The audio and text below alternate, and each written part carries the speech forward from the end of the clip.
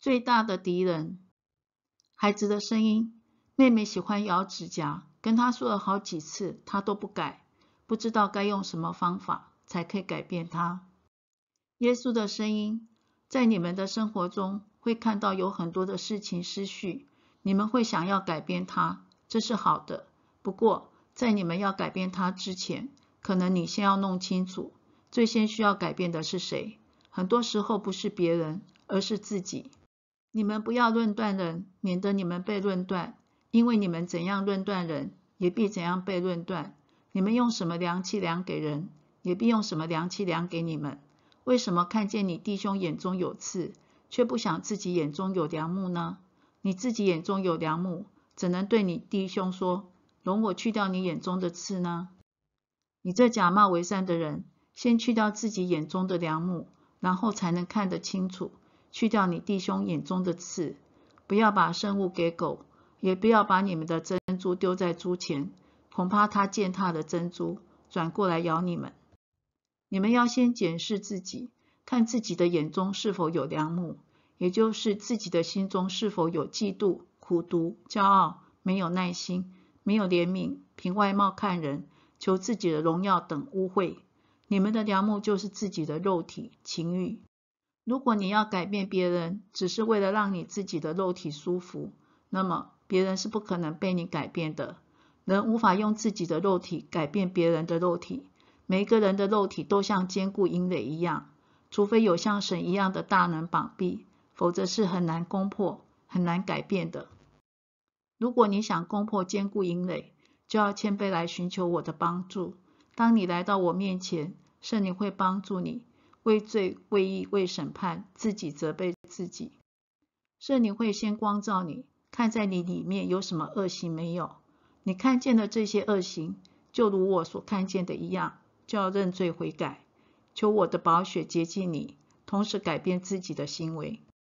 如果你不先到我的面前洗净自己的心，除去自己眼中的良木，那么你会发现外面的世界很难被你改变，你会感到十分挫折、无力，觉得自己是个失败者，最后是深深的无助感。或许这个时候你会想到我，愿意谦卑到我面前来寻求帮助。人的尽头常常是神的起头。我希望你不要走到这个地步才来寻求我。我希望你一开始就做个有智慧的人来寻求我。你们祈求就给你们，寻找就寻见，叩门就给你们开门。因为凡祈求的就得着，寻找的就寻见，叩门的就给他开门。你们中间谁有儿子求饼，反给他石头呢？求鱼，反给他蛇呢？你们虽然不好，尚且知道拿好东西给儿女，何况你们在天上的父，岂不更把好东西给求他的人吗？所以无论何事，你们愿意人怎样待你们，你们也要怎样待人，因为这就是律法和先知的道理。你们要相信我，如果你们来寻求我的帮助。我一定把对你们最好的赐给你们，可能不是照着你的想法，照着你的做法，照着你的时间，但是你要相信我，我一定能照着运行在你们心里的大力，充充足足的成就一切，超过你们所求所想的。当你遇到的事情很难改变的时候，要知道最大的敌人不是别人，不是魔鬼，是自己。只有自己成为对的人，才会做出对的事。当人开始做对的事时，正是事情要改变的时候。虽然魔鬼比你还有能力，而且是躲在暗处，但是你有比他更大的权柄，还有我的光照耀你。我的权柄和能力能否在你身上运行，以至于你能够战胜黑暗的权势？这个关键是在你身上。魔鬼会试探你，会欺骗你。会在你所行的路上布下网罗，挖掘陷坑。但是你们有我，你们可以奉我的名向天父祷告，祈求天父的帮助，叫你们不遇见试探，救你们脱离凶恶。你们可以读我的话语，用真理拆穿魔鬼的谎言。你们有我给你们的权柄，可以践踏蛇和蝎子。你们可以依靠住在你们里面的圣灵，给你们所需要的力量。圣灵也会用说不出来的叹息为你们祷告，鉴察人心的，晓得圣灵的意思，因为圣灵照着神的旨意替圣徒祈求。最重要的是，你们要从我身上学习如何改变世界。改变世界最有力的武器是柔和谦卑，这是世界无法教你的，所以你要从我身上学习。先知以赛亚预言我的受苦，说他被欺压，在受苦的时候却不开口。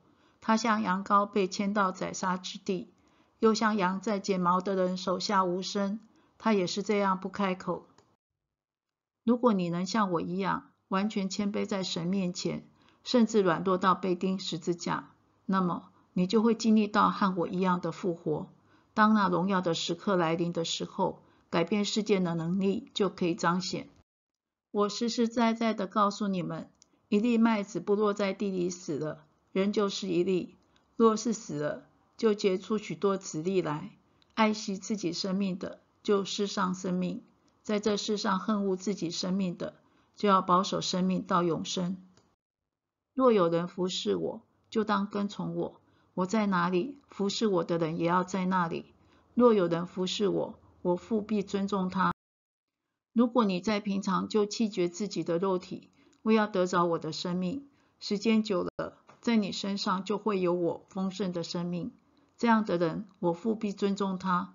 在关键的时刻，我才能把我的重责大任托付给他。